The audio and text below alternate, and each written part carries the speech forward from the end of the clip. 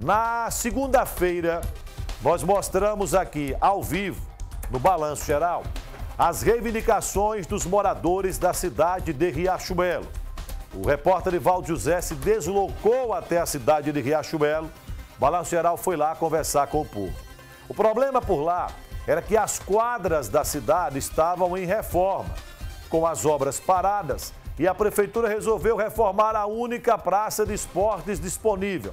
Além disso, a bronca dos moradores, você tem imagens aí na tela, é, a bronca dos moradores também era que a reforma previa um aumento da altura do muro de 2 para 2 metros e 90, o que comprometeria a visibilidade e poderia representar risco para os praticantes do esporte, principalmente as crianças. A comunidade é, fez até um abaixo assinado e junto com a nossa equipe foi levar até a prefeitura.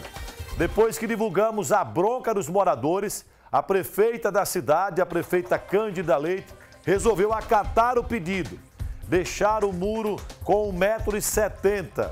O seu Messias, que é o responsável pelas obras, nos avisou e agradeceu ao apoio seu Messias, o Balanço Geral, aliás, seu Messias foi a pessoa que chamou o Balanço Geral. Seu Messias, o Balanço Geral está à disposição para dar vez e voz à população. Neste caso foi de Riachuelo e você pode mandar vídeo para nós, bronca para nós, que a sua bronca passará a ser a nossa.